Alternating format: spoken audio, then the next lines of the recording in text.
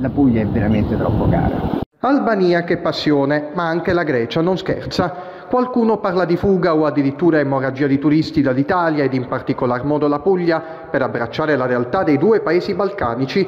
Miglior rapporto qualità-prezzo si afferma, pur non trattandosi sempre di destinazioni troppo economiche. Pesano, come suggeriscono le parole dell'intervistato, gli alti prezzi presenti nella nostra regione e la qualità dei servizi. I dati del traffico passeggeri per porti ed aeroporti sono comunque notevoli.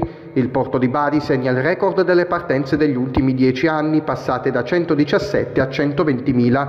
In aeroporto da Palese si registra un più 58% verso l'Albania, più 11% per la Grecia, naturalmente per quanto riguarda i voli. Saranda e le isole elleniche sembrano andare per la maggiore. Il tempo delle riflessioni certamente non mancherà. E, da vedere parla bene, mare pulito e prezzi bassi che non è più vero, però almeno questa era l'idea iniziale.